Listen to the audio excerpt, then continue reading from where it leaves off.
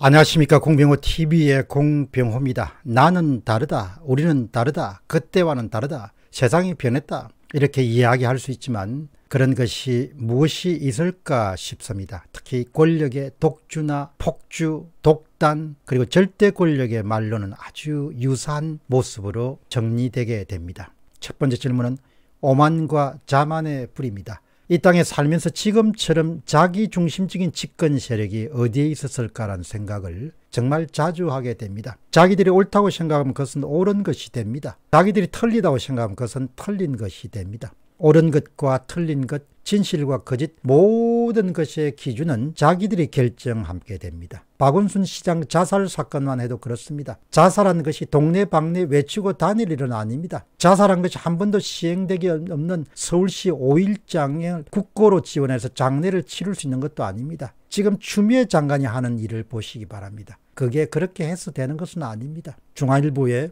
이훈범 칼럼니스트가 바라보는 문재인 정부는 이 땅의 보통 사람들이 바라보는 문재인 정부와 하나도 다를 바가 없습니다.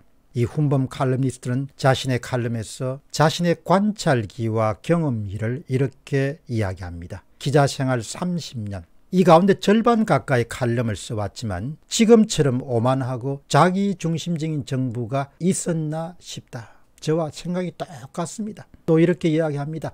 능력이라도 있어야 자만에 빠지고 오만을 발휘하는 법인데 이 정권은 준비도 되지 않고 실력도 없으면서 자도치적인 아마추어리즘을 무한대로 실현하고 있다. 제 생각하고 똑같습니다. 다만과 어만은 원래 정말 똑똑한 사람들이 갖기 쉬운 것이죠. 개인을 보더라도 그렇지 않습니까? 본인이 별로 똑똑하지 않은데 자만심과 오만심을 가지면 그거는 그야말로 뭐 정해진 결론을 달릴 수밖에 없는 것이죠.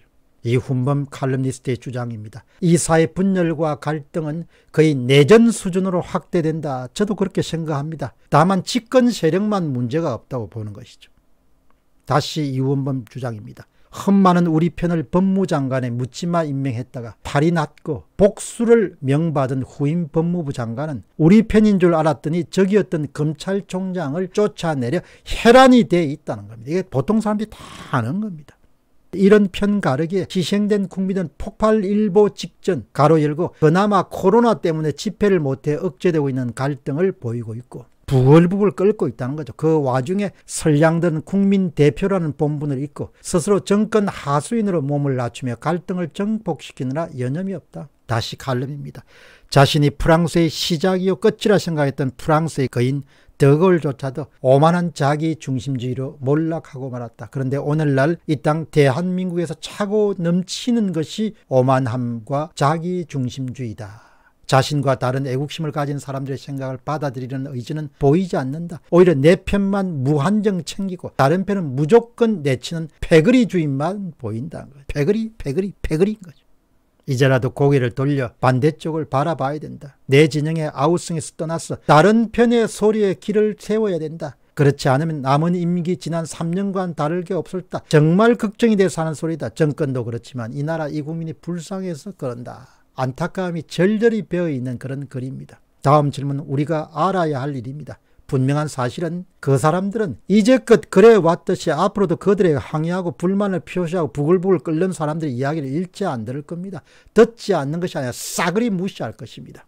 자기 중심적 사고에 빠진 사람들은 모든 것이 자기들이 세웠던 대로 잘 돌아가고 있다. 정말 문제없다라고 착각에 빠져 있을 수도 있습니다. 심지어 사회로 부정선거조차도 자신의 뜻대로 뭉개고 시간을 끌면 덮어버릴 수 있다고 생각할 것입니다. 그리고 가재와 개와 붕어들은 자신들이 가는 대로 따라올 뿐이고 일체 반항하지 못할 것이라고 생각할 수도 있습니다. 그들이 놓치고 있는 것이 있습니다. 수면 밑에서 부글부글 끓어올고 있는 사람들의 한탄과 불만과 미움과 정오는 그들의 귀에 들리지 않고 그들의 눈에 보이지 않을 것입니다. 바닥 밑에는 안 보이게 되는 것이죠. 그렇기 때문에 박원순 시장의 자살 사건에서도 그렇게 무리한 불을 두는 겁니다. 그러나 그들은 박원순 시장의 자살 사건에서도 깊이 한번 그 의미와 그 뿌리와 맥락을 새겨봐야 될 것입니다. 정말 새겨봐야 될 것입니다. 한 다선 정치는 이렇게 이야기합니다. 이 땅에서 어느 대통령도 말로가 행복한 점이 없었습니다. 문재인 대통령은 예외일 것 같습니까?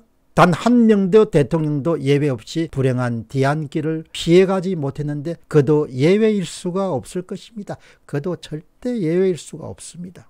박원순 시장 사건을 잘 보기 바랍니다. 옳지 않은 일을 수없이 하는 권력자의 말로가 행복과 평안으로 가득 차고 탄탄대로로 달릴 것을 의심치 않는 것은 그것은 자연 법칙을 위반하고 자연 법칙을 깨는 것이죠. 악한 일을 중첩하는 권력자의 말로는 예전에도 그랬고 지금도 그렇고 앞으로도 그럴 것입니다. 공병호 TV의 공병호였습니다. 감사합니다.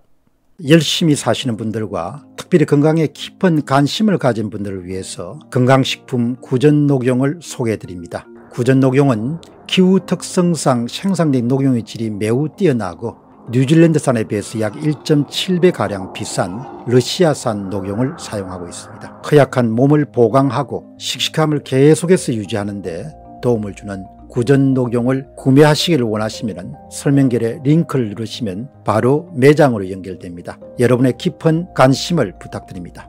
감사합니다.